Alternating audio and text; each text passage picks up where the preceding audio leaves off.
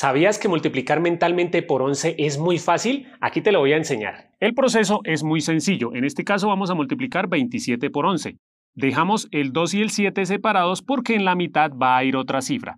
¿Cuál es la cifra de la mitad? La que resulta de sumar estas dos cifras. 7 más 2, eso es 9. Y ahí tenemos el resultado.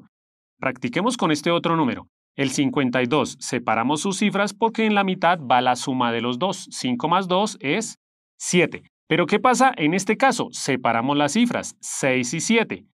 En este caso, 6 más 7 es 13. Entonces, ¿qué hacemos? Acuérdate que aquí ponemos el 3 y el 1 lo vamos a sumar a esta cifra de acá. Entonces, ese 6 más 1 lo cambiamos por otro 7. Ahora te invito a que tú practiques realizando estas dos operaciones.